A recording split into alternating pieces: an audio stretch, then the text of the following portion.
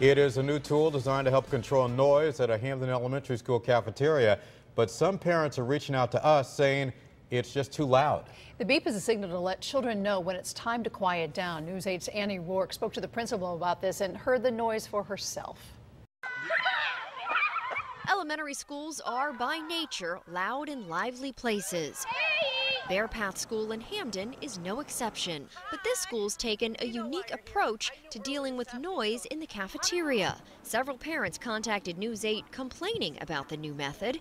It's called a talk light, and it looks just like a stoplight. Green is good, yellow means it's getting too noisy, and when it hits red... Principal Sue Smay tells us they've been using it since around last March. We don't see them be startled by the noise. I don't see that happening. The concerned parents did not want to go on camera with us, but they say their kids are complaining. The beep doesn't stop until the noise lessens. So it is this, but it keeps going. Some feel it's too jarring.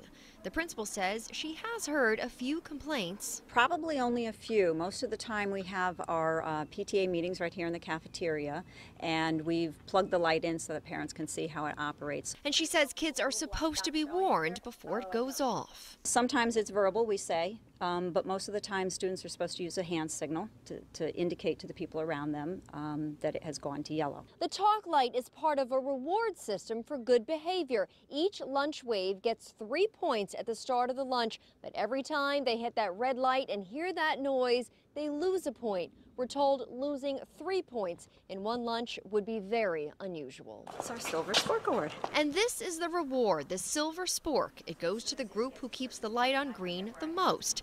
And when a group hits 50 points, they get an extra recess. But former student Robert Lyon tells us he didn't like it. I would jump.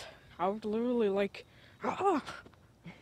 Then I would cover my ears for it. Though others we spoke to aren't that bothered. It was, hmm, it was kind of loud, not really though. Yeah. But it's funny because all the lights go off and they get all quiet and it calms them down. Annie Rourke, News 8.